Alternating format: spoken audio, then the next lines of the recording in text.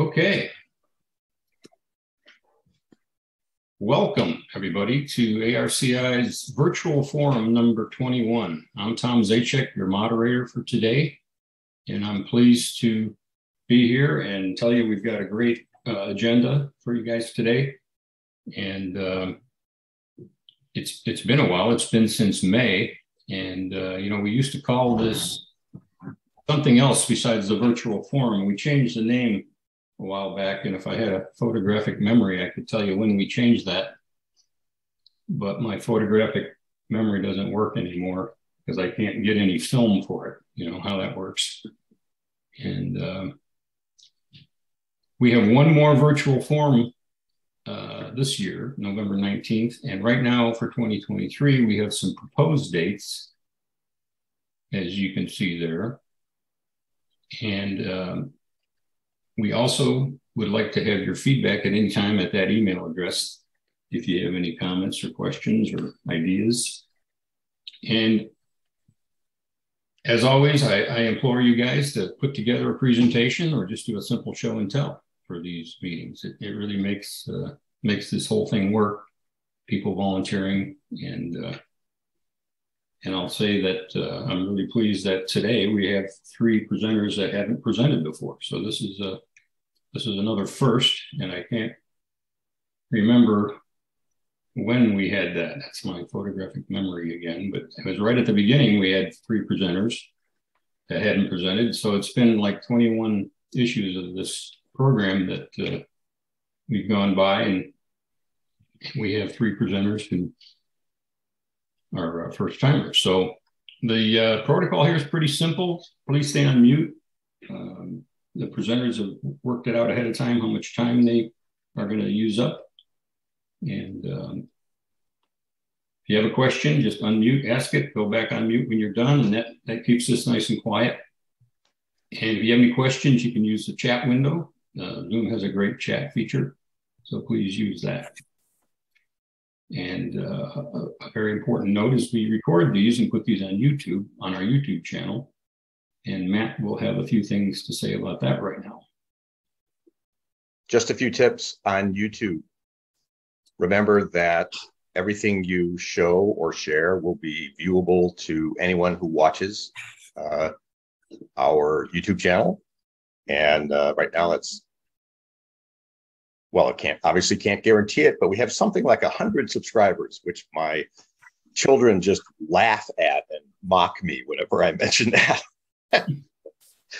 uh, compared to the thousands that, uh, or hundreds of thousands of the channels that they follow. Anyway, um, so as most of us know, YouTube is very uh, careful about not violating other people's copyrighted materials.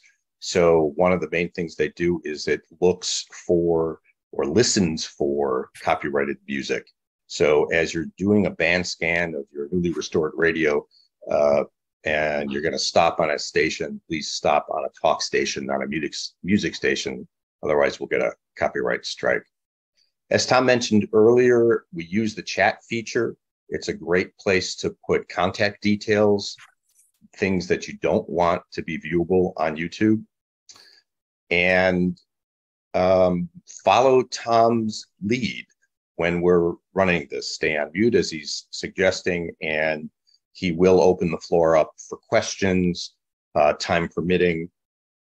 So he's watching the clock. Uh, with that, I'll turn it back over to Tom.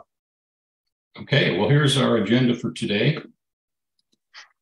And uh, you can see that we've got three uh, presentations lined up. And after we do those presentations, we do show and tells. And we're going to put up a poll here pretty quick about whether you have a show and tell. That just helps us budget our time.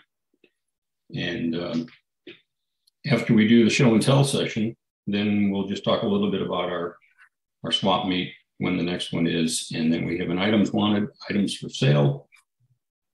And once we conclude that, we open it up for uh, just a, a chat session. So if anybody wants to hang around and talk about anything kind of related to what we do here, that's the time to do it. So, um, with that being said, I'll uh, introduce our first presenter, Bill Goodwin. Uh, I've been emailing with Bill for a few months on and off, and he has a very fascinating presentation on uh, on a very early radio company from Philadelphia, and uh, the uh, F, FB Chambers Company. And uh, Bill has uh, really done extensive research here. Bill is from uh, the MARC Radio Club. He's back east, and he's graciously agreed to present his presentation today. So, um, with that being said, I will now turn it over to Bill, and we'll hear about this early radio company. This is a slightly modified program and will be more rushed from what I presented at the MARC radioactivity in June. I think, Robert, you had seen it there. Um, part of the reason for doing it was um, I wanted to get the information out there about this company because the people were fascinating to me. So let me launch into the program. Uh, like many of you, I think uh, when we come across something that strikes us, we want to get into it a little bit more. And in getting into this family's uh, history, um, it became more and more intriguing as I got into it. But um, for me, as with many of you, um, I grew up with it not quite as early as the Chambers from the late 1800s, but um, from childhood, blowing fuses, getting semi electrocuted. Um, but radio was a fascination, even to the point that when bringing some equipment back from Australia uh, for the first time going through customs, I got so tongue tied that the customs agent in Hawaii looked at me very sternly and said, I know you. And I started getting nervous butterflies. He said, You were the guy as a kid who strung a wire from your bedroom window to the nearest tree. And it was certainly true. And it broke the ice and told me that uh, this particular behavior was fairly typical of boys of my era. So, with this particular uh, journey, um, just hunting for things generally brought me across one of the FB Chambers pieces of equipment. It was in a field auction. And then at that time, the auctioneer went around in a golf cart and his helper would uh, either point out, hold, or put his foot on whatever item was being auctioned because there was thousands of items in a big long multi-line field so as I got it, I let it lay for a while. And then I started looking and found that um, the story of the people came out, but we'll get into that in a moment. With this company, their development started around 1904 or 5 and went into the 40s. And the uh, principles, especially at B chambers, moved the amateur radio industry forward by affecting legislation which changed from point to point only communications to what we know as broadcasting. And it involved a loving partnership with his wife, involvement with his brother, and an apparent family tragedy. So he was born in uh, 1879 in Norristown, PA, as the eldest of six. And on the second line, it says uh, S, then lineman, electrical engineer. Uh, that was his brother and uh, this, another son, his late, youngest son, was a carpenter. His father was a laborer, then carpenter with his own shop, and that, to my mind, is a bit significant. And maybe I'll remember to bring it up a little later. He got married in 1905. Uh, put this abbreviated family tree up there because uh, just to give you a little visual of them, and both uh, Barclay and Frank's wives were considerably older than they were. And I'm not sure if there's anything to be made of that, but it just struck me. And they did have a son who was uh, born uh, in 1906 and um, may have died before 1920 because he disappears from the records of the Census Bureau. Hester Rulon Erickson was born in New Jersey in 1869, second of five children, second daughter. and was a dressmaker.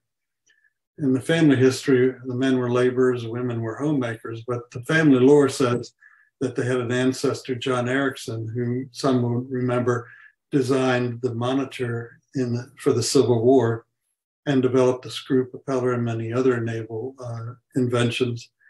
And so famous was he that there's a monument to him in Washington, D.C. So whether or not he was in the family, it struck me that with uh, Hester's emerging involvement in the company, that the family lore may have helped spark her involvement.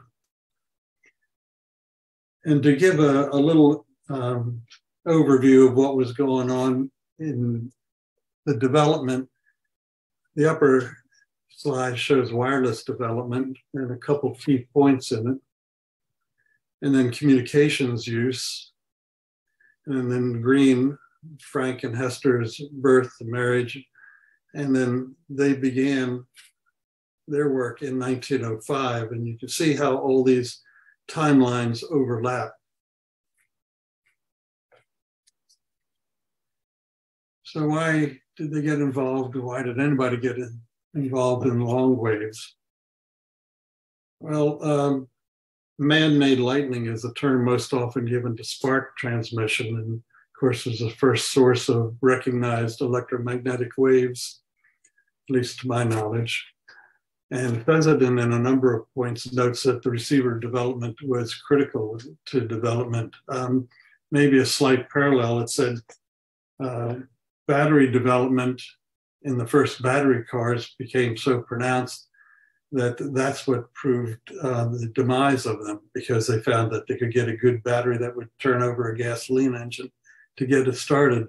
So Fessenden was saying, unless you could have good receivers, you weren't going to get good communications. But then he was also very heavily involved in Spark Gap with the patents as mentioned, and even talked as early as 1898 about tank circuits versus open tune circuits. And the radio spectrum, as used then, um, especially at the bottom, you see transoceanic stations were very low frequency, very high wavelengths. And uh, a lot of what uh, Chambers did was um, beginning with the very earliest. He had one loose coupler, for example, that uh, I mentioned is was three feet long to catch those uh, low frequency, high wavelengths. So his personal history has given by him to Congress as he was electrical engineer with broad training and a radio engineer. That's a quote attributed to him in the congressional record. He was involved in telegraph, telephone, electrical lighting, and overhead steel railway companies and held various positions. But their um, courtship and partnership um, mentions that they he first saw her at a Masonic ball. And my guess is they were uh, lifelong Masons, as will come up um, at the very end. And just seeing Hester from behind, he wanted to uh, meet her, which strikes me as particularly strong inducement. Uh, if a back of somebody looks good, why not the front? Um, so they got married in February and immediately uh, took up residence in Philadelphia her comment in 1910 was that he was such an enthusiast of the most intense kind, but that he would not enjoy it unless she was involved too. In a 1916 article, they were called Mr. and Mrs. NR, and you longtime hands would recall that the earliest licensees for wireless work could choose their own call sign within limits, and he chose NR because he was uh, from Norristown, Pennsylvania. And he also agreed with her that he wouldn't have done it without her. And he credited her, and this is where I get the strongest uh, uh, con, con, uh, commendation was manufacturing their instruments was uh, something she was involved in, as well as conducting experiments with their wireless station and he said they tested all their new equipment, even when they had a new telephone system installed. He wouldn't let anybody use it until she had. Uh, in the early uh, Pennsylvania Wireless Association, she attended all the meetings and was deeply uh, respected. Uh, this last comment on the slide about how fond they were of children and talking about kitties and little peepee sparks uh, strikes me particularly um, because of the death, apparent death of their child. So they gave quite a lot of their evening time to talking with um, presumably principally little boys on their tiny wireless sets. Here, Frank's talking about how um, he thought it was very important uh, for men and their wives to jointly pursue something. I would assume if your group here is similar to MARC members, uh, very few wives participate directly. Although I will say my wife has invited, particularly invited a couple radios into the house when she saw me carry them from the truck. Um, in, in, Trace the family, they uh, seem to have always lived where they manufactured the business, or conducted their manufacturing. This is a picture of their first home on uh, North 9th Street and appeared in their ads. And it was a apparently an apartment building with 21 people living there. So Frank, Hester, and their son Raymond.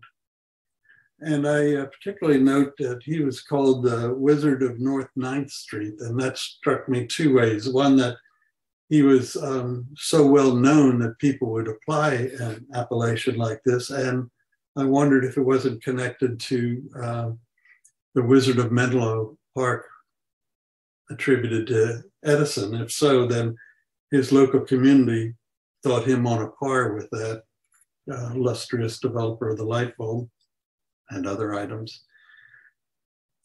So they uh, kept in touch, her at the wireless home station, and he on the road in this picture, he has one of his devices, which was um, a little crystal radio, headphones. I know he couldn't put that hat over them, but it's good for the picture.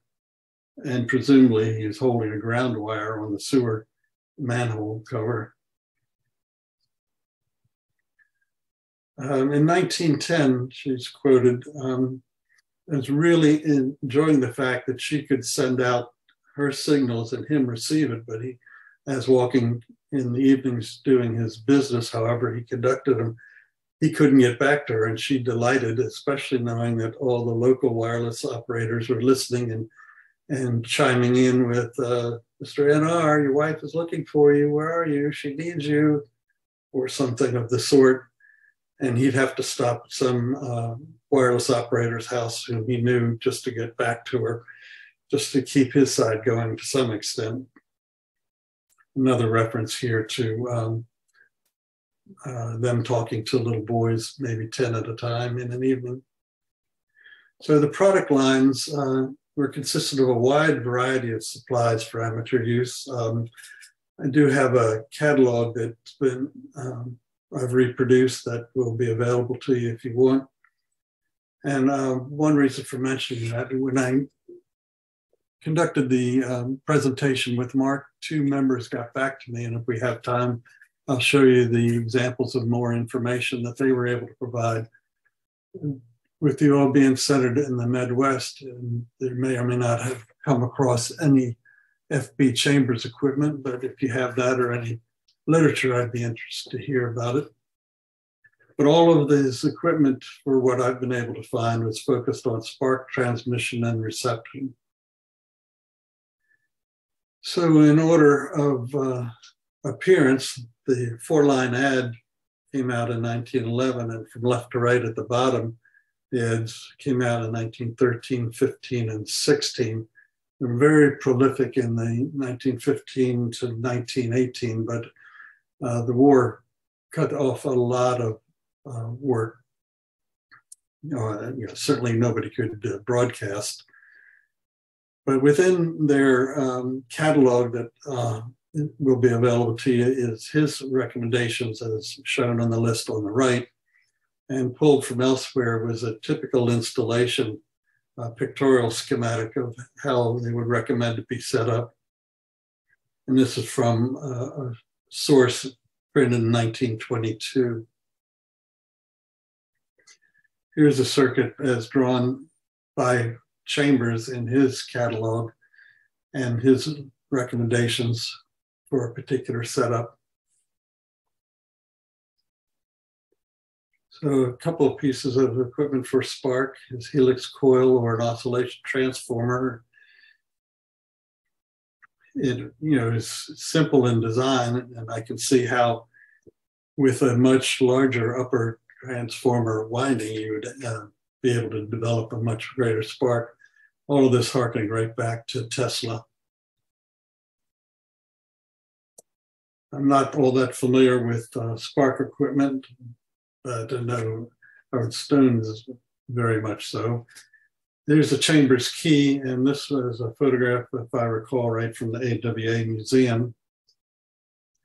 An antenna switch on a marble base and possibly refined uh, switch. And I've blown up sections from the photograph that show the imprint of the FB Chambers company. They made transmitting condensers of glass and they uh, had various sizes ranging, if you can imagine, from $8 to $64 and $2 each for a quarter per quarter watt if you want a mahogany box. Um, so I'm not sure what the wattage uh, that this could be used with, but imagine what $64 from 1915 or so would translate to today, and who could afford that? This is an internet uh, picture I was pleased to find of rotary condensers. Mr. Stone's set or uh, the wireless or jeweler set. And uh, what I was given to understand was in the earliest days of wireless, the jewelers used them to set watches by. It wouldn't do to give somebody a watch they just purchased without it being set to the uh, most accurate time possible. So his most advertised couplers are shown here, a 748 and the 749 tuned to 15,000 meters. And I like this particular slide because it mentions near the very bottom a Chambers circuit. Long in my mind had been whether or not Chambers was an engineer or um, a Marconi type one who understood what was going on and gathered stuff together to put out to people to make their own things. So he did have a, a circuit that was commented on by uh, or Hazeltine, I'm sorry. Here's a loose coupler in my collection, 746. There's a 748. That one's 15 inches versus mine, which is uh, 21, but some were said to be 23. From the catalog is a tuning coil. And here's one that I have. I had acquired this a few years ago before COVID hit from uh, uh, Kutztown and the windings look so crappy because even though it was advertised that the core would never shrink, it did after 100 years. And the fellow that I bought it from had uh, unloosened one end and then tried to tighten everything up. And so all the neatly worn straight line elements for tuning were all twisted around the uh, core. So here's his um, close up of his portable receiver. And it was like the tuning coil with a, a crystal detector and a, and a proper uh, fittings for connecting headphones, antenna, and ground. I was real pleased to get these. Um, Brandes uh, headphones marked by, uh, with FB chambers on it. And Brandes has to have done that because uh, I don't see any other way it would have been done. And it's the only known example. If others know of other examples of these headphones, I would be happy to be corrected, but I was real pleased to get this. So his influence in, in many spheres, uh, he was uh, one of the charter members for the Pennsylvania Wireless Association. His experimental station operated on uh, three frequencies, at different times. And he was very prominent in the post war effort of the government, especially the Navy, that wanted to basically do away with amateur radio operations. And when he presented before Congress, he was representing uh, Washington, uh, the Wireless Association, rather, of Pennsylvania, the Mississippi Valley, and Colorado, plus St. Martin's College in Washington and the amateurs of the 13th Naval District in Puget Sound.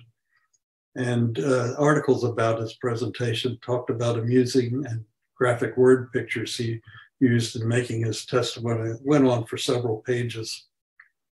And basically, um, it resulted in the amateurs being allowed to work above um, or below 200 meters. So, was he a businessman or an engineer? Well, he had a variety of circuits in the catalog. Um, he sold uh, or created them with sparks coils, one with a tube, and supplied another business, Merkur and Flocker, which is uh, another reference I'll make to him in a moment. And I thought it was interesting. Uh, I don't know how many of you all remember, but I remember uh, in my early childhood that some small purchases could be made with stamps and with chambers. They would accept payment for items up to 50 cents worth. So here's a Hazeltine's rendering of a tube circuit uh, that Chambers had created. I've long forgotten my math on this, but still it helped to flesh out whether or not he was an engineer or was he more of a um, educated businessman on the topic. Uh, Merkur and Flocker were uh, a Pennsylvania firm, but uh, quite a distance away from Philadelphia, all the way at the west end of the state. And I blew up these uh, particular pictures because they're identical to those uh, found in the catalog. And when I get to the catalog, uh, we have time, I'll show you a picture because one of the MARC members um, had an item that he got from someone who bought it from Merker and Flockart, and it's the same item as pictured in the FB Chambers catalog. So after the war, you know, as we know from Armstrong's work, everything changed. The tubes were out, tube circuits were out, and it looked as though really Chambers and Company didn't go into the tube work. So we see that apparatus sales, um, telegraphy training became the predominant ads from that point on. Um, I say there was a apparent shift to radio sales because in one reference I found that Atwater Kent Manufacturing Company uh, called for a, a, meeting trying to get uh, radio jobbers into an association. Most in the uh, those attending were musical jobbers, but he felt strongly radios ought to radio dealers ought to get involved, and of course, with him having a radio company of his own, made sense the reference to Chambers was that they won he won a window dressing award at that meeting. So I don't know how many um, strictly amateur wireless businesses had uh, window displays, but I doubt that many, if any, did. So that furthered my belief that he was strictly into uh, home type radio sales by that time. Well, Frank died in 68. I did find um, an obituary for him, heart attack complicated by uh, arteriosclerosis. And Hester died a couple years later. No cause was given, but she was residing at the Masonic home in Elizabethtown and had been there since her husband's death. And that suggests to me that they re- remained uh, lifelong Masons. So he claimed to have been a radio engineer, and at that day and age of his start, that probably was uh, an appropriate title. He was a radio station operator doing experimental work. He figured prominently locally, regionally, nationally, and advanced in civilian amateur use of radio to spur scientific development. He was an electrical engineer whose enthusiasm led to radio manufacturing and parts sales And that then led or transitioned to telegraphy school with household radio sales. For Hester, her operations of the radio began in 05 and was noted in uh, very far ranging publications as the first licensed woman operator in 1913 and first licensed woman instructor. In fact, the article um, about her obtaining her license said that she uh, vastly outperformed almost all the other men taking the exam at the time. So she was a radio manufacturer and wireless experimenter and retail radio apparatus and household set sales person. As a couple, they were obviously devoted to one another, especially presumably after suffering the loss of their small son. They were particularly supportive of child wireless operators, jointly pursued wireless and its advancements, and poured their wireless interest into a business on an equal basis. I think he got more notoriety at the governmental level, but at the local level, they were uh, two peas in a pod as far as all who knew them. This is from a 1910 article demonstrating equipment use on the roof of the building that they lived in. Now, at the MARC meeting, I had produced a document, well, I'll mention here. The first articles I got was uh, AWA review by uh, Rex, Rexford uh, Matlack in 87. And I produced my article in, in AWA review number 32. Ludwell Sibley was particularly helpful, his Radio Age articles, plus he provided me with a copy of Chambers Catalog B24. And Howard Stone uh, allowed me to use pictures of his materials, scores of newspaper articles and trade magazine references. I think the article has about 120 references. And of course, the uh, Ancestry and Wikipedia to give me family history. Um, somebody liked the production of the uh, catalog so well that I handed out at the MARC meeting that I found it on eBay some weeks after the meeting uh, for the sales price of $9.99. And um, I'll uh, stop it here, although there's a picture or two I might add. Um, the catalog reproduced is available um, for those who would want it. And I'd like to uh, share one thing here as soon as I can find it. There it is.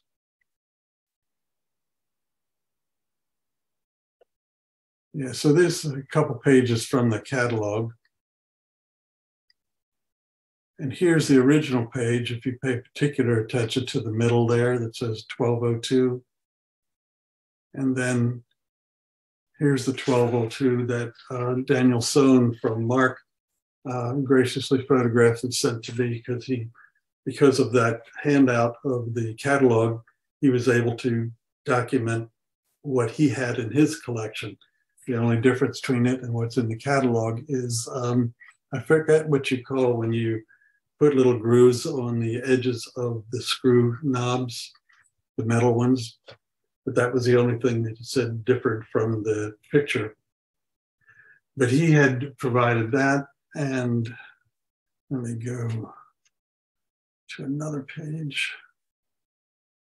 I think I want. The grooves that you're talking about, are you talking about knurling? Yes, thank you, knurling. And one of the other MARC attendees, can you see the uh, page here that shows the uh, letterhead?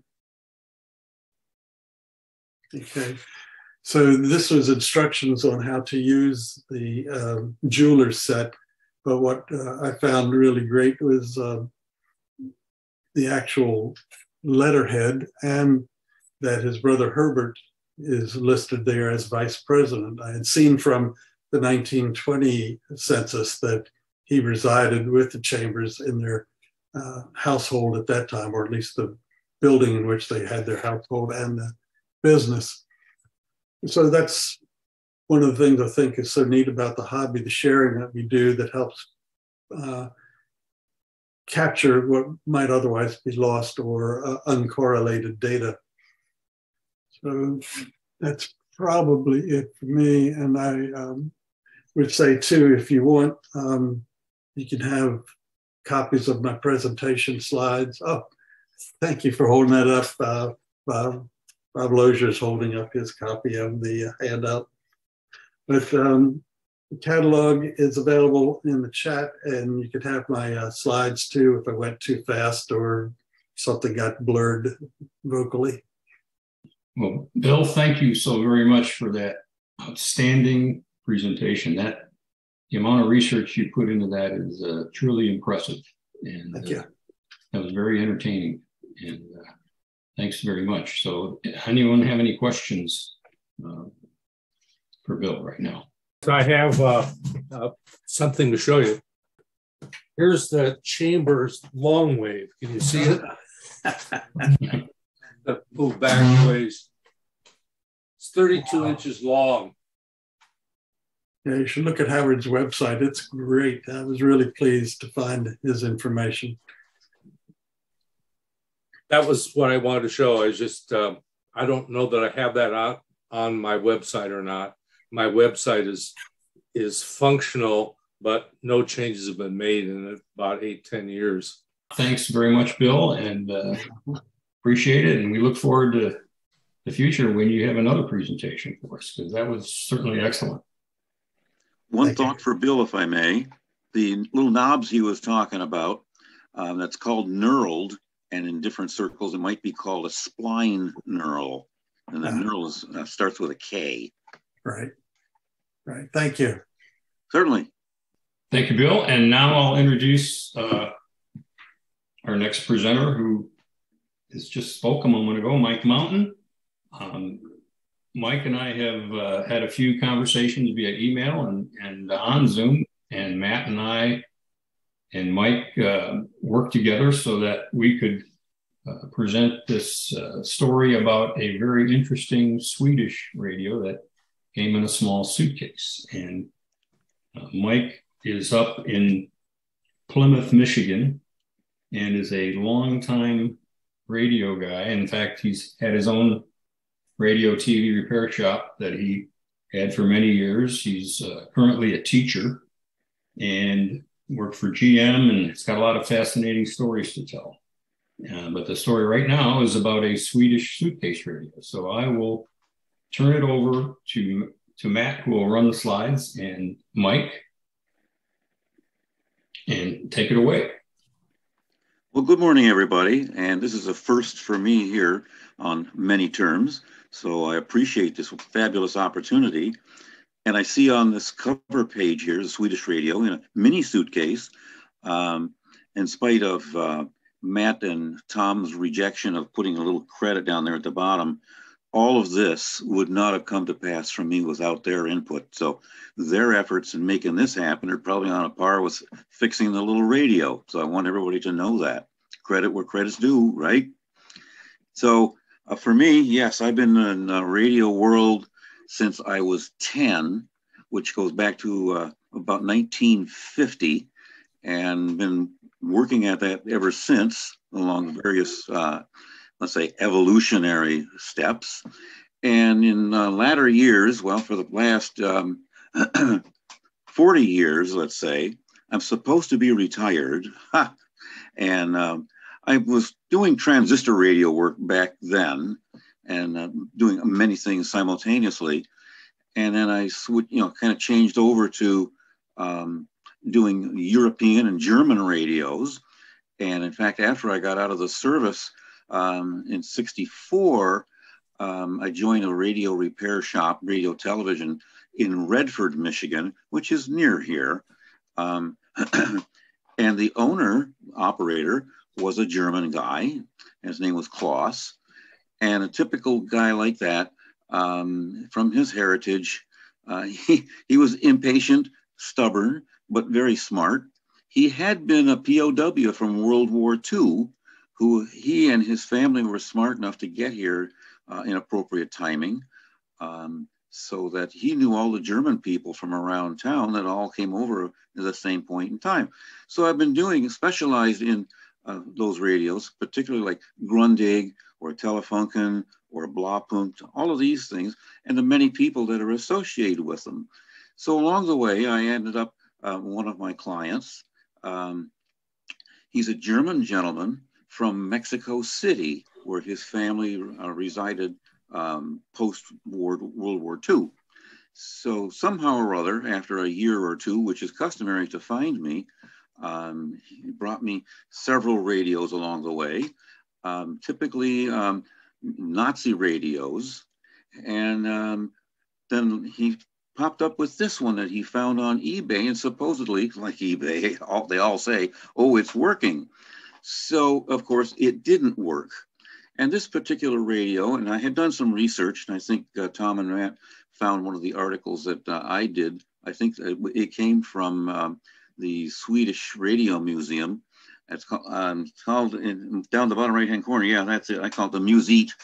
Um, and in all my searchings, nobody had ever seen one of these radios for real or touched it.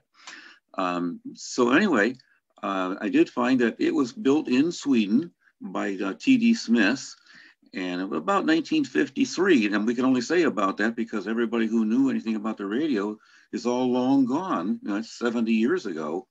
So there may be somebody out there uh, who's familiar with it, or may well be amongst your guys' group, uh, or whoever views your videos, uh, who has seen one or has one. I can't believe that uh, the only one around anymore is the one that I had repaired for my customer. Uh, his name is Gustavo.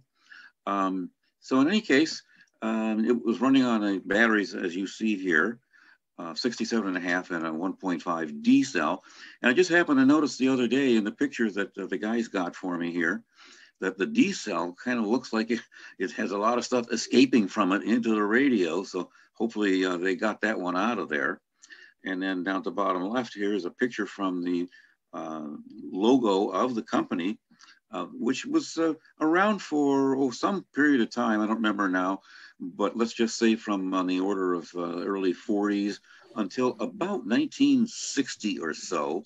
And in this article from the Musette, uh, it gives a pretty good demonstration of uh, their timing and uh, the various stages of evolution of acquiring other businesses and being acquired themselves.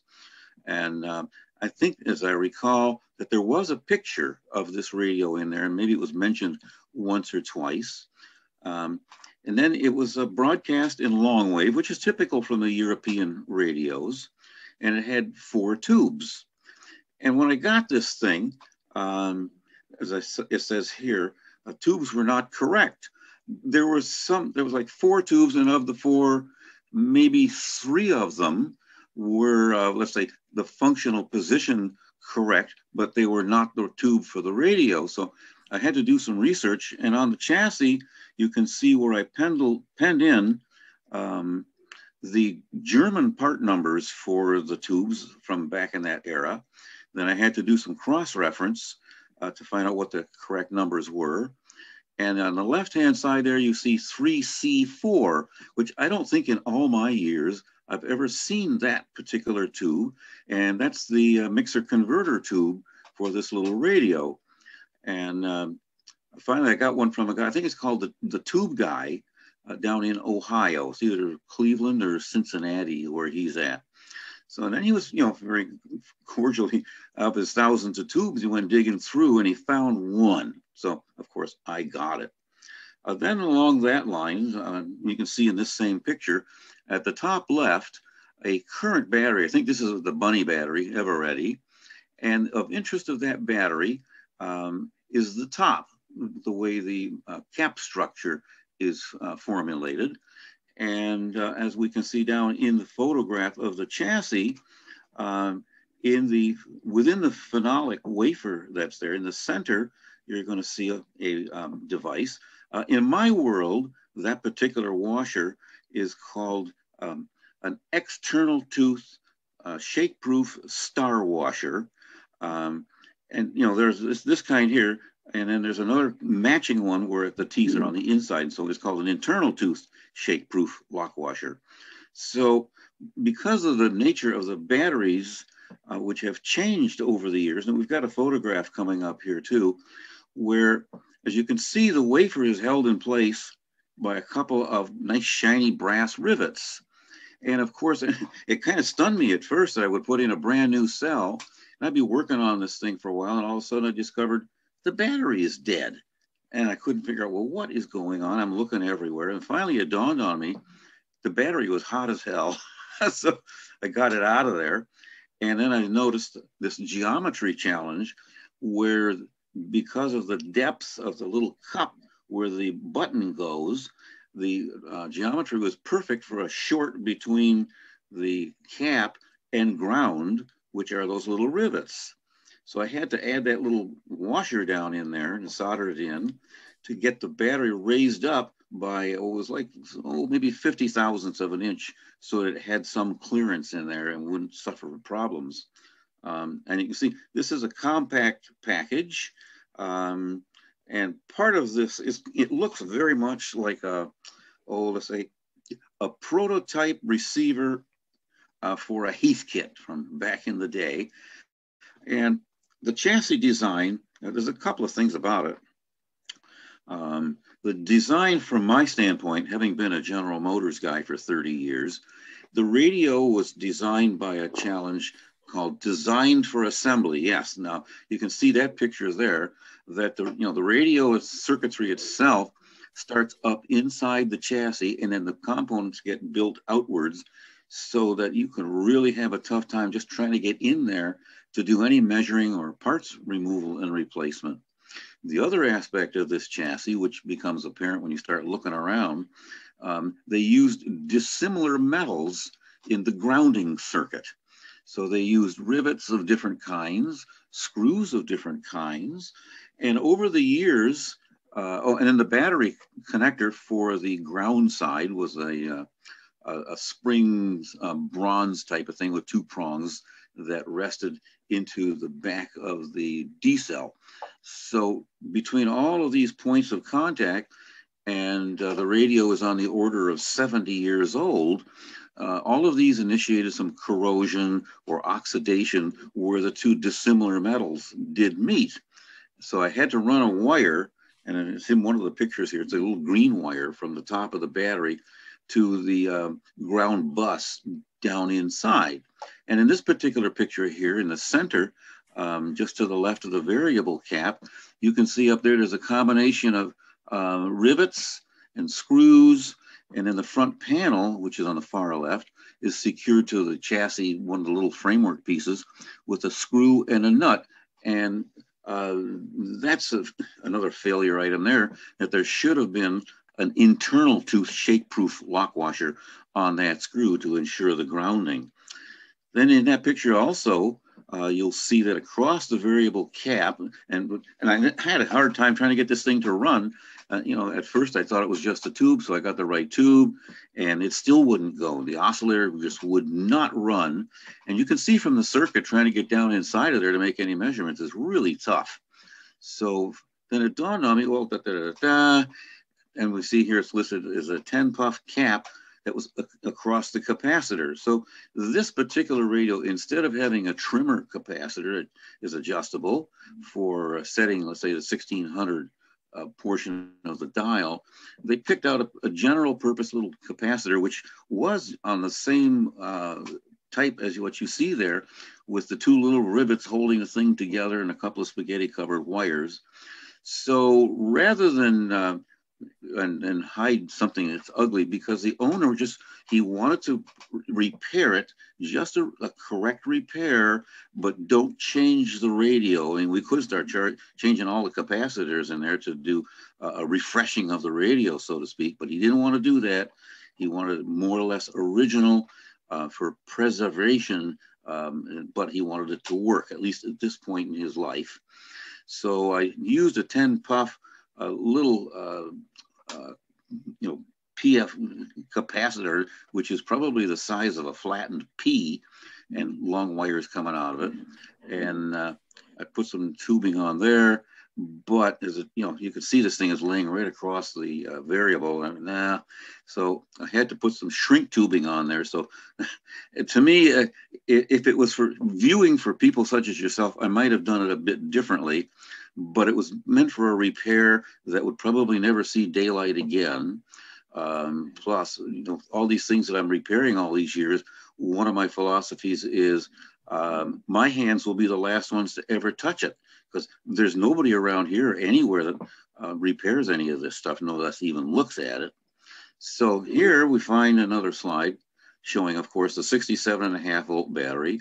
And to get this thing working and give it back to uh, my client, I took uh, seven nine volt batteries, all daisy chained together, and they do fit in the battery compartment quite nicely.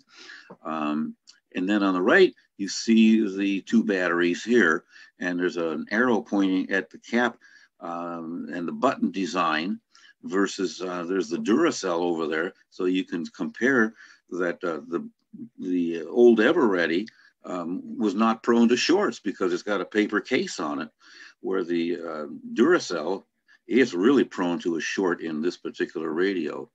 So that's where we find the name there. I put it on there. The guys put it on there. External tooth shake proof lock washer.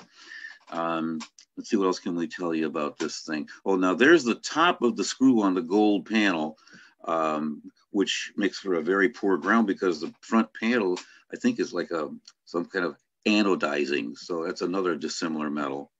Now the power switch which is up against the lid in the assembled radio. Now this is this is the top side of the radio, and uh, there's a little push bar or whatever you want to call it. Um, this kind of a design is used on a number of radios where the cover of the radio opens. You know, when you open the cover, it releases uh, the pressure on a little switch like this uh, to turn the radio on.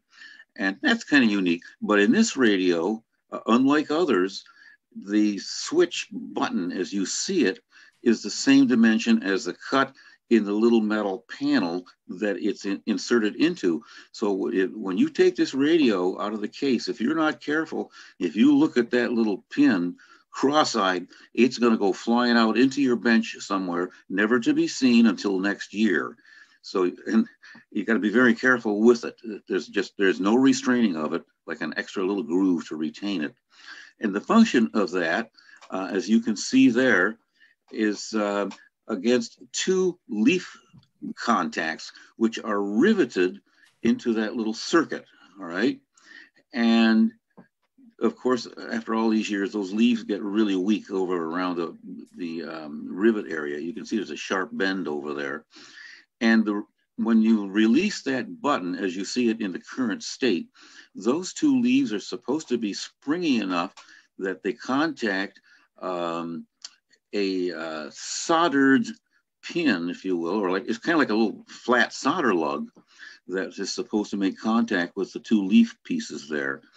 Uh, and it's a real challenge, of course, if some of you have seen this kind of thing before, so that when you got the, the pin released, that it's enough springiness to recontact those two little pins. But what happens is if you don't get everything just right, when you close the lid on that pin, it pushes against the two leaves and then it bends them back out of shape so that they don't make contact anymore. So that's one thing you've got to be very careful of right there. Let's see. So here's the radio. Now, this particular radio that we have here, um, as uh, Matt and Tom found, I believe they got this from the, the uh, Musette. Um, this is of somebody's choice. They might have even gotten this picture from the uh, Italian radio restorer.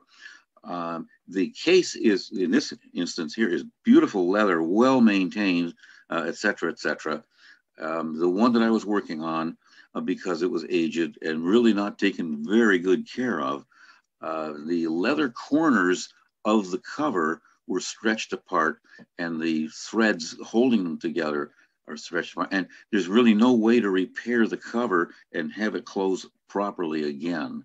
Uh, one thing to note here is on the left-hand photo, you can see that little plunger switch over there in the corner. And part of the difficulty with this radio is that the antenna leads um, go to the antenna, which is inside that little button on cover inside the lid, but they tend to lay across the switch, which gives it extra push down pressure, which tends to bend them. Then, of course, on the right, you see a little cover plate that's over there. And on the far right of its side, there's a little latch pin that uh, you rotate around to pop that up to get at the batteries. uh, let's see what else can we tell you about. I guess basically that's it. Oh, yes, it was a quick shot of um, my shop. I just had to forward them today. I had promised it. Yeah, and it's messy as all good radio shops are. Um, and you can see all the big radios. And uh, many years, decades ago, when I supposedly retired and I rebuilt all of this, this was a two and a half car garage, uh, which had been my one of my shops. You know, it's um, 25 by 25, so I had a lot of a lot of worker bees uh, in there. And I retired and I figured, okay, I'm going to play with my transistor radios and I'm going to spend a, a lot of money and make my um, uh, my office and home away from home.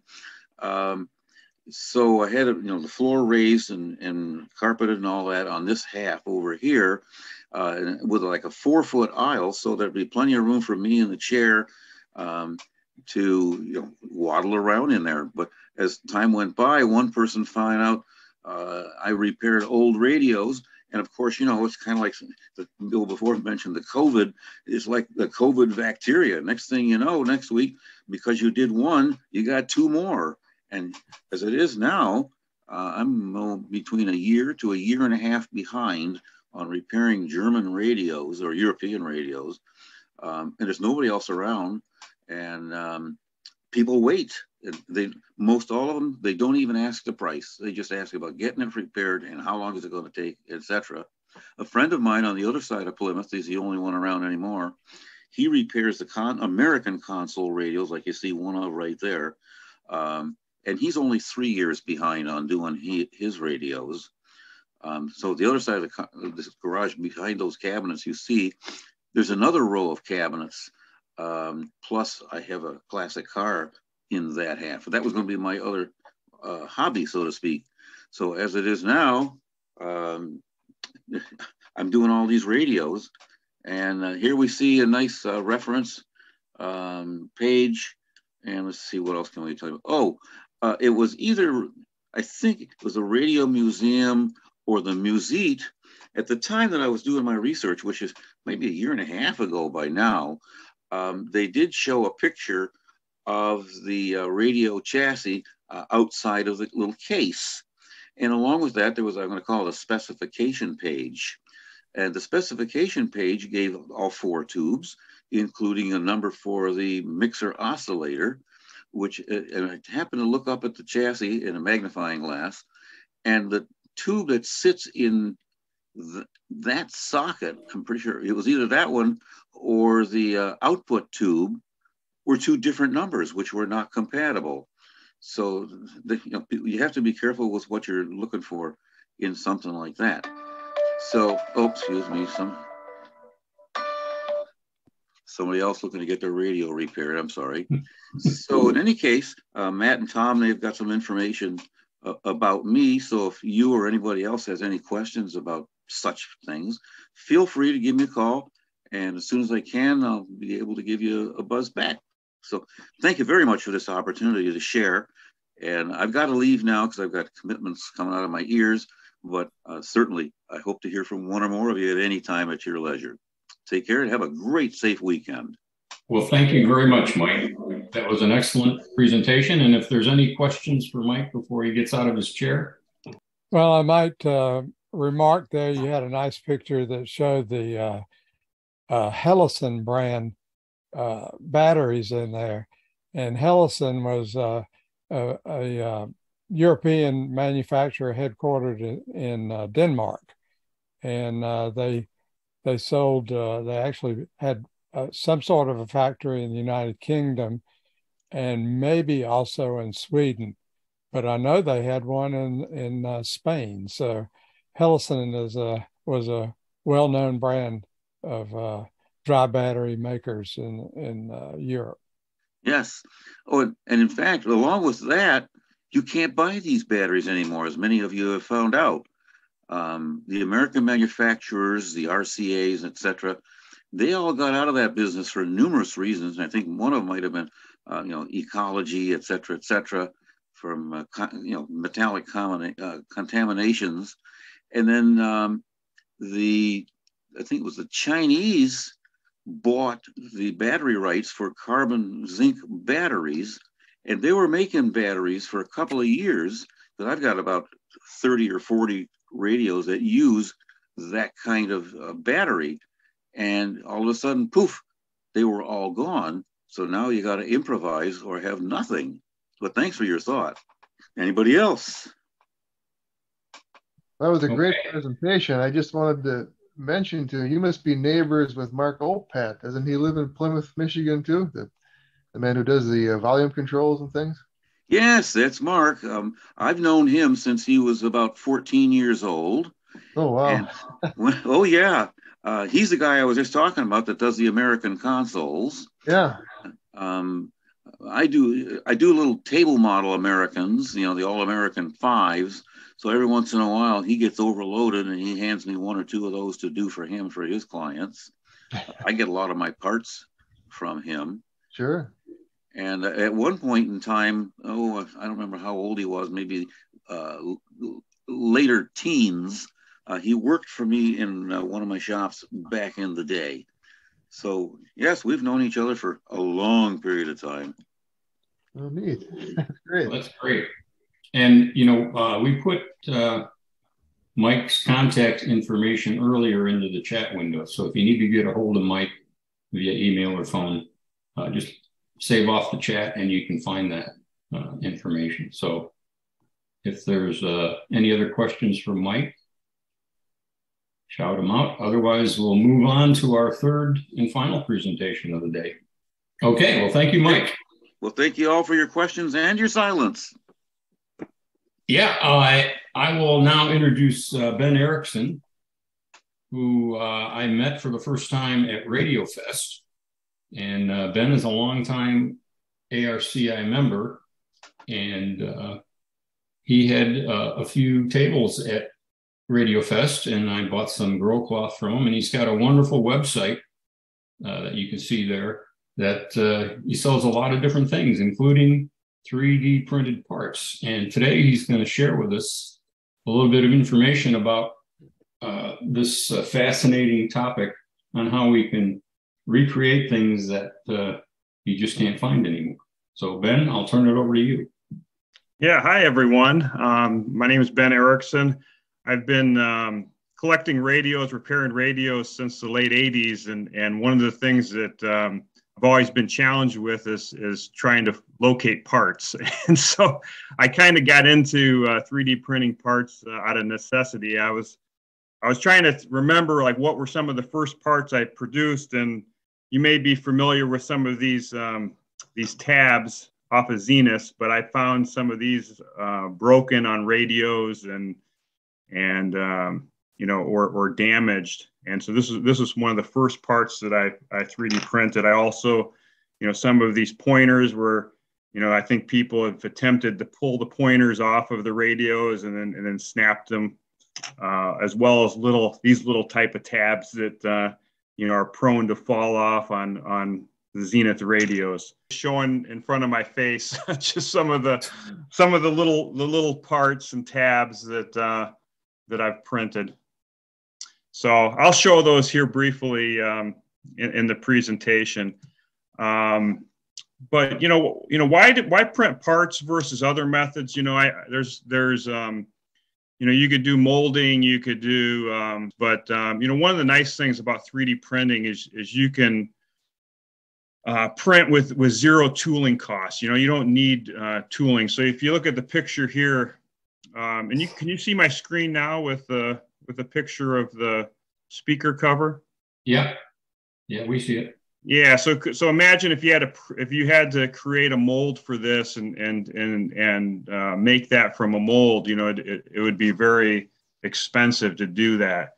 You know, and with 3D printing, you don't, you know, you could add lots of complexity, and it's it's not really costing any more. Um, you can print out a variety of materials. You know, so I've printed, you know, out of plastic. I've printed out of rubber materials, wood, metal uh, so there's a lot, lots of options available now. It's just, you know, it's it's just getting um, better and better the technology. I mean, I think when I first started uh, printing, um, you know, the quality wasn't so good, and and now um, it's um, you know it's, it's, greatly improved, and it's improving every year.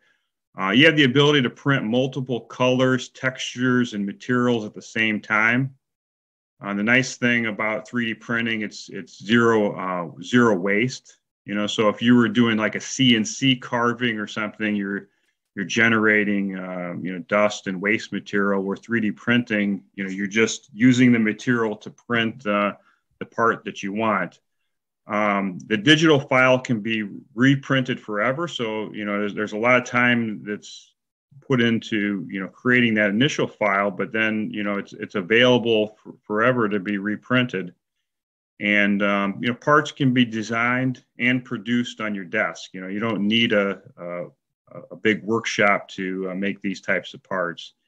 And the, and the quality of the 3D printing is hitting the tipping point of other methods like, um, you know, like molding of, of parts.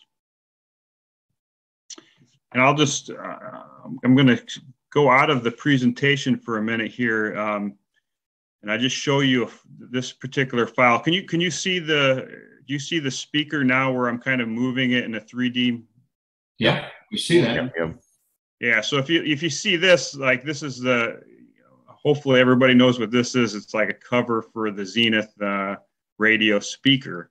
Um, and you can see here um, in the inside, you have this this this cap that that goes up against the speaker. When this was originally made, this was made out of fiber, and uh, you'd have to do it. You know, you'd have a, a mold to make this outer outer outer part and you'd have a, a, separate mold to make the inner part. Where with 3D printing, you could print this all as one piece. Um, you know, the same thing with other complicated uh, parts. And the nice thing here is, is like this, you know, let's say you wanted to, I noticed somebody had a, a picture or had a, a Walton sitting next to him. Let's say you wanted to make this a smaller size and make it, you know, you, you wanted to kind of you want to innovate and customize a, a, a, smaller radio with this type of design, you know, it's, it's, it's very easy to shrink this down to, um, you know, any variety of sizes that you need for speaker that uh, you're working on. Can you use a baffling material as a material? What's that? A baffling, some sort of baffling material uh, to absorb the sound, you know? Yeah, I mean, like you, you could print out of fiber materials, you know. Okay. So there's there's there's different fiber materials. There's there's rubber materials. Like I I've I've printed parts that are like um, you know, grommets for radios too, um, that are made out of like a, a rubber type of material. So it's yeah, it, it, it, there's there's different materials coming out all the time uh, to be able to uh, make make these parts from. Uh, so there's today I'm gonna I'm not gonna go into a great deal great amount of detail, but I just want to talk about the three step process to make a radio part. Uh, the first one is create a 3D digital drawing. Uh, the second is 3D part printing, and then uh, post uh, post part processing. So when, whenever you 3D print, um, you know, at the end, you may need to do some processing of, uh, you know, to make it into the final product. And one of the things that um, you know, I've started creating is, is a digital radio parts library. And uh, this is, um, I currently have this available um, in, in Shapeways, but, I, but you can see here some of the different uh, radio parts uh, that, I've, that I've created. I'm looking, I'm looking to create more. I'm, I'm just curious, um, you know, from the audience here, you know, if there's interest in, you know, developing a, a digital parts library um, you know, if you can, if you can contact me and, and just, just, you know, tell me the kind of interest or ideas that you may have uh, for that in the future. Um, but step one, you, you create the digital drawing of the part. And there's, there's several methods available depending on your budget, time, and experience. Um, you know, one real simple way is to do a web search for an STI, STL file for your part. Uh, there may be people that you know have have um, needed a, a, specific part. Like I'll, I'll, find a lot of parts of like um, it's like that pot metal zinc type of material where people have created gears um, and, and, different things for radio parts that you know are, are prone to failure. Um, you know, but if you can't find it, find it with a web search, uh, you could use CAD software to create the part. Of course, this you know requires some knowledge uh, to be able to do that. Um, you could um, approach a local community college. Uh, you know, they're they're looking for student projects um, in their drafting courses. Uh, you could take them the part and have uh, a student uh, recreate the part for you in a digital file. Can you uh, do are, it yourself? What's that? Can you do it yourself? You can't. You can't do it oh, yourself. No, yeah, I'm talking about you. Oh yes, yes, yeah. So I, I I could do it myself. Um, but you know, I'm just giving some options. So like, if you didn't, if you don't have experience uh, doing the, you know, the CAD drawing and stuff, uh, if you want to have the, you know, the ability to be able to, you know, to to recreate your part, you don't have to spend. Uh, you know uh, weeks and months trying to learn uh, how to do uh, CAD drawing. So if, if I, I mean. if if I sent you a part, you would be able to duplicate it for me. Correct. Yes. How yeah. big uh, how big a part can you do? You could you could do a, a part that's um, like the size of a five gallon pail would be the biggest part, oh. and then you could do you know you know very small parts. So um, the, the one thing that you can do with 3D printing is if you wanted to, to if you need a really large part, um, you could you could um, print it several different times. So let's say you're it's the size of two five gallon buckets. you know, it's like maybe you want to recreate a whole radio. Um, you could print those in sections and they could be uh, assembled together. Um, another another really nice uh, option is 3D scanning. Uh, so I've, I've used Northern Illinois University to, uh, to do 3D scanning. There are, there are also like local maker spaces. Like um, I live outside of Aurora, Illinois, and, and there's a maker space in Aurora where, where they also offer 3D scanners that you can check out and scan parts. Um, you could also, you know, use uh, um, digitiz digitization services like my company, Big River Hardware, or uh, UPS uh, over in Naperville, Illinois. They they also do uh, digitization services as well. Okay, so then the, the next step is is 3D uh, print the part. So there's there's several different methods. I mean, if you if you if you invested in a 3D printer, um, you know that that could be one way to uh, you know print your part right there at your desk at your at your house. Um, you could use local maker spaces. Like here's a picture of one at the Aurora Public Library where they have several different types of printers. They have different types of uh, materials that you can uh, print out of. You know, this is really low cost. I mean, they're, they're, they're basically charging you um, uh, the cost, the weight of the finished product is what is how it's being charged. Uh, the, if you choose different colors, uh, um, there's there's not any change in the in the, in the material cost. Uh, another option is uh, the UPS store. Throughout the U.S., a lot of the UPS stores have 3 3D printing capability, like this one in Naperville, where you could have the parts printed. Um, and then, or you could use an online service like Shapeways in, in New York City. And so, if you have the 3D image, uh, you could you take a look at the Shapeways website and uh, you know, they offer a, a lot more uh, material types uh, to be able to print versus the other options. So here's just a little snapshot of, um, you know, some some 3D a 3D part that I've printed. So you can see here on the right hand side is the original part, um, and then in the middle is is when I printed it out of nylon, and this and the part on the left is after I I process the part, I, I stain the part uh, to have the finished product. And Shapeways, uh, for example, has 24 different types of materials from plastics to metal. Um, this particular part that I printed here was made out of uh, natural nylon. And what's really nice about natural nylon is it, it has the weight and feel like Bakelite. Uh, you know, it's a very heavy, heavier type of um, material. It's durable. Um, it's stainable with fabric dye. So if you if you uh, you know go to the fabric section section at the, at your uh, local um, store. You could use the RIT dye, any variety of colors to stain uh, stain the printed part after it's done, and it's also paintable.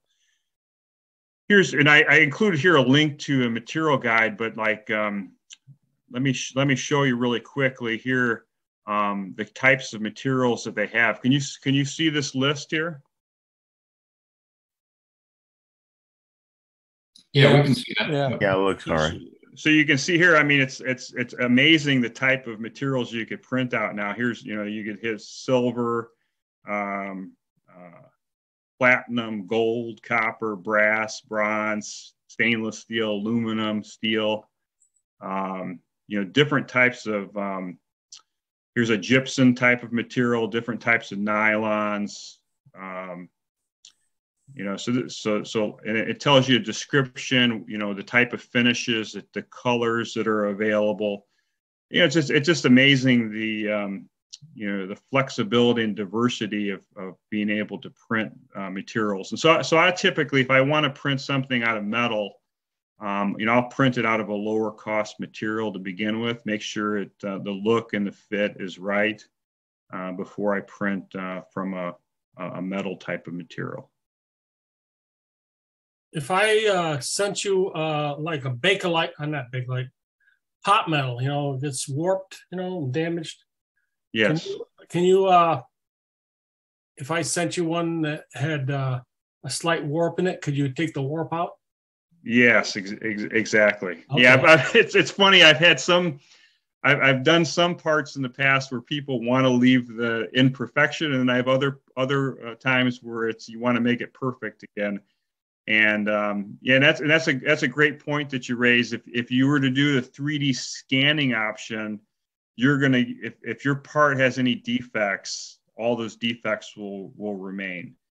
If you do a 3D d- design, um, you do you, you, know then all of the defects can be uh, corrected, and and and you could also improve the the part from what it was originally, because sometimes maybe you want to make the part more robust. Um, so you could you can improve the part design too as well. Okay, so the next is post-processing apart. And so uh, here, here are some of the materials that I use to stain a white nylon knob. So I, I, I have the, the white nylon knob here in the bottom portion. I'll, I'll add uh, vinegar in my in the RIT dye that I want to uh, change the color of the knob. I'll, I'll, I'll microwave this uh, to where it's uh, boiling, drop the knob in there for, you know, like a minute as, as, as dark as I want it. And then, and then that post-processing step is done. Um, so here you can see I, am staining it.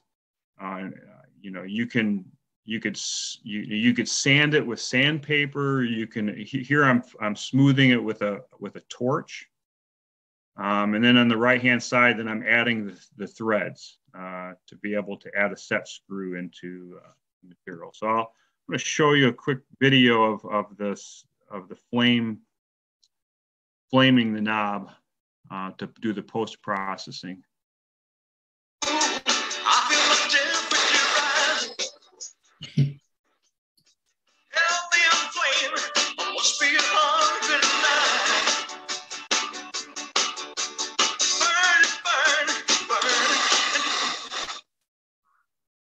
Yeah, so you can see, you can see there that's um, you know just using a, a, a propane torch. It's just um, you know you're able to smooth the surface of a 3D printed uh, part. You know, it's it's 3D printing is great for complicated parts. You can see here, um, you know, some a, a, variety of parts that uh, I've printed. Over in the bottom left is uh, the part that I mentioned at the beginning was one of the first parts that I was um, uh, 3D printing. Those little tabs, uh, but you could do pointers out of metal. Um, you could do a variety of different parts. So what's next? Um, you know, there's I have the QR code here. If you wanted to take you know take a look at my website or contact me, you can scan that with your camera but you know I, I really i really really would like to to create a digital parts library um, and, and I was thinking of this, um, you know, make a part, give a part mission where, you know, if, if we can, um, you know, make those digital files of parts, you know, make those available, uh, you know, for others in the future. Um, you know, so it's, you know, like we've, uh, you know, created uh, just regular pictures. There's, there's sometimes where there, somebody may want a part and then it's, and then, uh, you know, all of the work involved is, is creating that 3D um, digital file. So it'd be great to ha- have a library of parts available for people uh, in the future. Uh, I'd like to be able to 3D print an entire radio, um, 3D printed capacitors. You know, how, why not even create a 3D printed vacuum tube? You know, so I think there's there's a lot of things that can be uh, recreated that could help uh, you know help preserve the history as well as um, you know get uh, younger younger generation interested in antique radios so thanks a lot for your time. I hope hopefully this helped you uh, and inspire you to um, know how to make uh, 3D printed parts. Well, thank you, Ben. That that was a really eye opener of a presentation, and uh, I think it's it's a fascinating topic that I'm intrigued by, and Yeah, a lot of our members are as well. May I interject a little thought here? Um, Ben came by uh, my home one uh, time to uh, uh, relinquish me some of my surplus radios. Uh, thank you, Ben. And he showed me, he, he showed me some of these uh, uh, samples, and it's it's mind blowing. Uh, I, in my own personal opinion, I've dealt with repro parts before, and in, my own opinion and my vision, I, I think his his quality exceeds uh, that of what he was showing me, both the wooden type and the plastic type. Remember those samples that, that you showed me, Ben? Oh yeah, yeah. and those were pretty good. And I also didn't know you were you were you were a Big River Hardware. I've ordered from you before, and I'm I'm impressed with your product. So just a shameless plug. That's it. I'm done. Thanks for sharing all that stuff with me. Well, that was fantastic. I- I'm just curious, how long does it take to uh, print out such a beehive speaker cone? That's a pretty big item. Right. Yeah. Well, I- yeah, I'm not. I'm not. I don't have a. I- Actually, I don't even own a printer, so Oh, okay. um, so I wouldn't know how long it takes to uh, to print the item. Okay. That's that's would one think- thing. That's that's one thing. You don't need like expensive equipment to get into uh, 3D printing parts. You know, I, I like to use the local maker spaces. I like to use the uh, services. So so for a part like that, I would use a, a, a service to print it out. But I think it's uh, it's several hours to be able to print out a beehive speaker. That's a pretty At least, large yeah. component. Yeah. What's the cost of the some of this stuff? I mean, is it very high to have it uh, scanned as far as uh, 3D, getting a 3D image and then uh, printing it? Um, they go by the hour, or how's that work? Yeah, well, it, it depends on what method you're using and how what you know how fast you want want it done. You know, so I've you know, so if, if you're doing a student project, you can get the you can get the part made for you know for free, right? But it's going to take some time to be able to get the part made. Um, if it's part of a class project, um, it could um, you know as well as the quality you know? So if you're using like a, a, a local community college you know you may get a really talented student or you may not get a talented student where there may be some correction.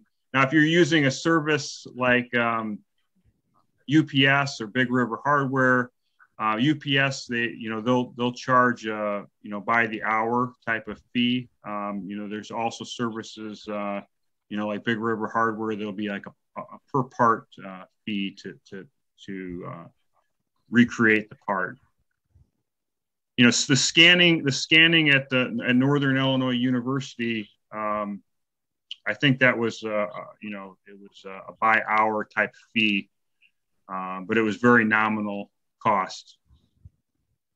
The one I thing have- with 3d scanning is is like i said it, it- all the perfections if, if your part's damaged at all that'll you know you, know that will show through I have a, a picture I can show here if if if uh, if I'll do a share screen here.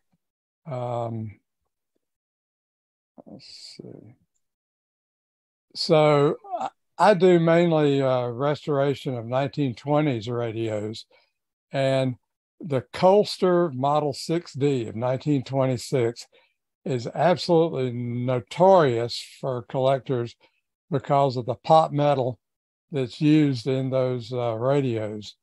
And uh, so I designed uh, this is a dim- dimensionally accurate uh, recreation of the pot metal part that always breaks apart. The um, uh, I used to do 3D uh, design work in, a, a, contract engineering firm, and uh, one of the big problems that I've seen so far is that the pot metal parts that I want to recreate from the 1920s, uh, you can't use cheap materials to uh, generate this. This particular one was done in uh, in nylon, and even a nylon print uh, from uh, a third party printer, uh, it costs fifty dollars plus uh, shipping to to get this frame made, and it required some post processing of, of drilling and tapping holes and so forth. And then also, of course, you, you don't use white nylon, but the great thing about uh, nylon of this type is that it paints really easily. So I was able to paint it with a with a medium gray and put a little staining on it, and it looks like really good pot metal right now. So uh, that's a, an example of what can be done, but th- there is an expense to it, and there is there is time, and uh, you don't jump in and get a usable part first time around that you get into this 3D printing business. So that's that's my comment for now. Thanks, Robert. Ben, I have a question. How do you print in metal? It just it's a, it's the same as so if you use a service like Shapeways, um, you can you can 3D print like if you're if you're printing a plastic part and you said, "Well, I, wa- I want that in metal," it's just it's it's the same ordering process. Um, I don't know technically. Maybe somebody else does on the on the call. You know what that process looks like, but um, pretty much the, the, the parts that are pr- printed out of plastic, they look exactly the same printed out of metal. At least the ones I get from a service like Shapeways, but I haven't seen, I haven't actually seen the equipment or anything of how that's, you know, okay. how they're doing. Well, that. my my information may be a little bit old on this, but you have to keep in mind that uh, metal printers start at about one hundred and fifty thousand dollars and go up and they're they uh, usually use a, a powdering uh, print method in which in which the metal is sintered in an oven afterwards and there's some fancy calculation that has to go on to uh, uh, the, the part you print is not actually the same size as the part that gets delivered because it shrinks during the sintering process so and that all translates to uh, uh, big bucks, but uh, uh, for a one-shot deal. So uh, my impression is uh, metal, actual true metal printing is is is you're not going to get fifty dollar parts. All right. Well, Ben, I've already emailed you pictures of something I'm looking for. So uh, great. Yeah. Yeah, this this you you everybody may be familiar with with one of these. You know, this is off of a Zenith, but this this same part this is this is this one's out of plastic. You know, you can get also get this printed out of brass. You know, and so I and and I think they like a, a service like Shapeways is able to you know um, they own all the parts of their the cost of the equipment and stuff is distributed amongst all their customers um, and I found that the, the size and everything, it's it's pretty consistent. Uh, if you order a plastic part and then it's you know whatever dimensions that your your your part is in the drawing, it's going to be what you receive. Um, so that's that's a nice thing. Uh, so they have, have really good quality control for that. Well, the So picture I, the picture I sent you is a knob I've been searching for for a year and I've not been able to find. Great, thanks a lot. So, so Ben, could you just give us a ballpark cost of those items you just showed in front of us there on the screen? Yeah, so so if, if you were, yeah exist. yeah if you, if you were to get you know it's, it's usually about double the price you know or at least for a, a plastic part versus a metal part. Um, so you're talking like a, for a pointer like that, it would cost you probably like a hundred dollars to you know have that um, printed out of metal. Um, you're talking like twenty dollars if you're having it printed out of plastic. And this and, and it's the smaller the part, the the less costly it's going to be, the less weight. Um, of course, if you if you go for for um, you know, I think like the for metal, it's if it's you know just regular steel is is the least expensive. Um, nylon is probably the least expensive uh, plastic uh, that you can that you could use. But at the, Well, at the at the library, you know, if I was to print if I was to print that pointer at the library, it would probably cost me five dollars. You know, but the quality wouldn't be quite as good. I see. Any more questions for Ben? I, I I'm fascinated by this this technology. It kind of brings us into the uh, current state of 3D printing, and uh, it, it's an avenue to help restore things that maybe can't be restored anymore. And uh, I think our uh, our hobby is full of things like that. You mentioned a database of the, I think it was, was it STL files? Other than searching, you know, doing a Google search for the STL files, are, are there any uh, libraries that you know of, uh, you know, common community sort of uh, places to to look to see if files already exist? Yeah, and, that, and that's and that's where I, I'm I'm wanting to create one that's you know specifically for radio parts because there's there's there's a lot of um, you know different um, databases out there. It's one's called cults3d.com. Um, you know, there's uh, there, there's there's there's several different da- databases, but you have to go through a lot of files in order to, and, and, you know, you have to go through the images. So you, so it's almost better to do like an image search, like you take a picture of your part and then and then do a, an, a Google image search for that. Um, but um, I think that's that's where there's opportunities is is to make a database, you know, bring bring all those STL files together, uh, so people can search for a particular, you know, um, maker of a radio, um, model of a radio, in order to, you know, find the the, the part that they want. Because I I have uh, I know I know several different people around the country that are making different 3D parts and and um, but there's not any, you know, so I, there's not really any central place where you can go to access all of those. It's not on GitHub or anything like that. Yeah, I'm not familiar with that. Well, if you're a radio amateur and you get QST magazine this month, there's a, a an article on uh, using 3D printing uh, for radio amateur product uh, projects, and in one of the articles there, it it does some name dropping of some of those uh, uh, libraries, uh, and uh, so I don't remember what they are, but if you can get hold of a latest copy of QST, uh, uh, you may f- uh, find some library or, or links to libraries in there. Yeah, and I'll, I'll put one in the chat here that, um, you know, I've used in the past. Thanks, both guys. Okay.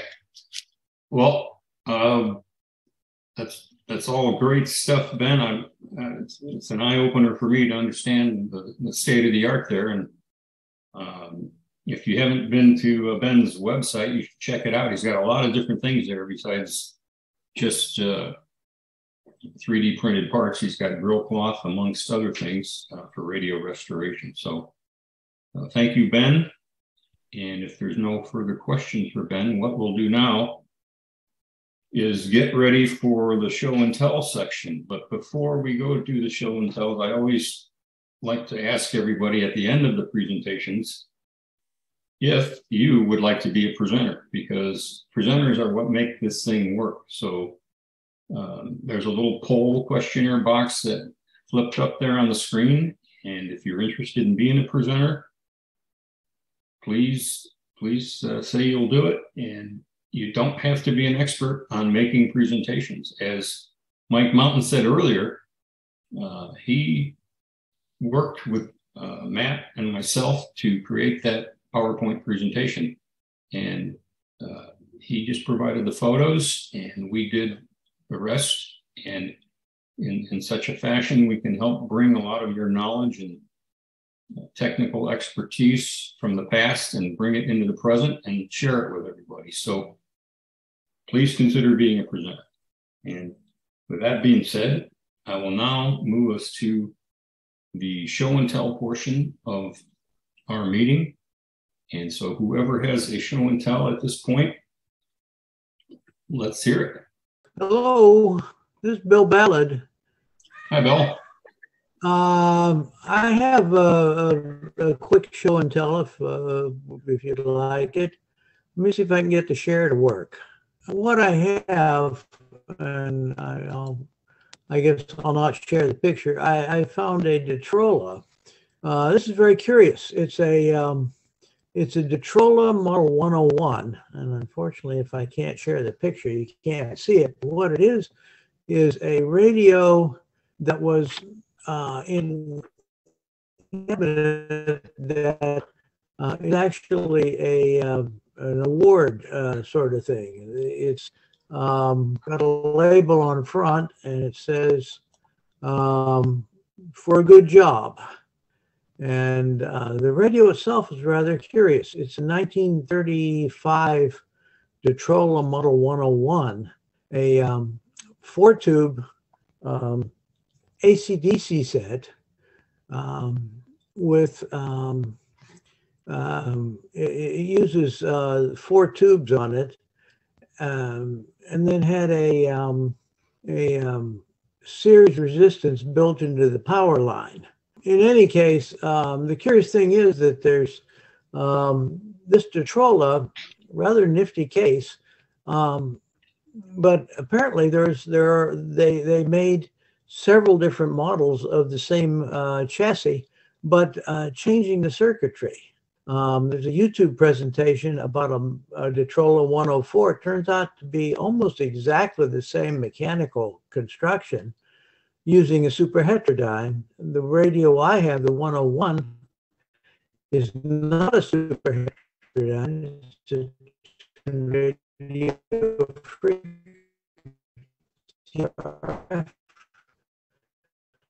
type receiver. So um, what I've got is um, there are two different chassis, um, uh, mechanically identical, but uh, using entirely different circuitry.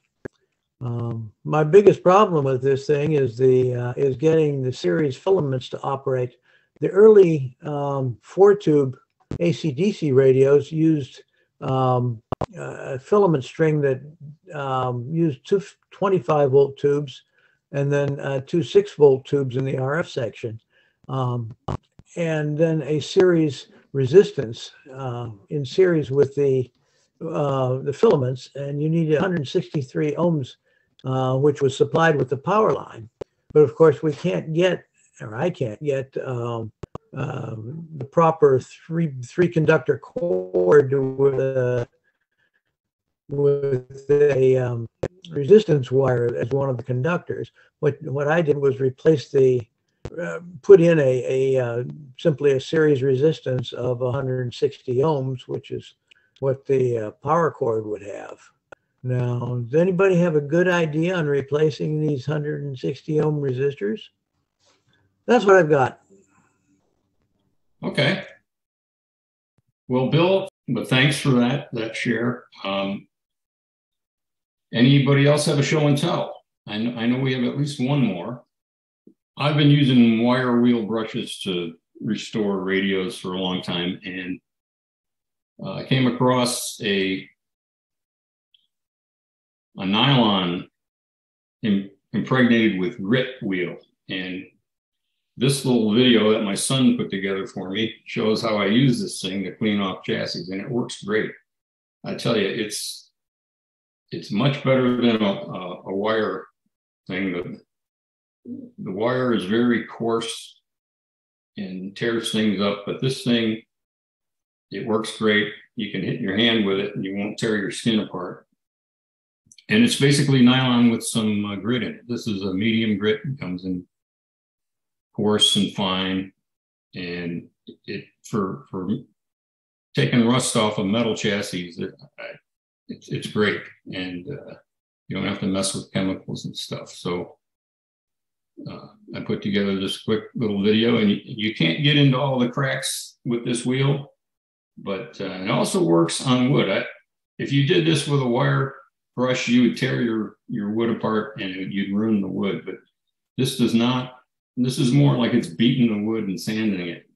And uh, I use it to get in those little cracks and crevices on uh, non-veneer parts, particularly.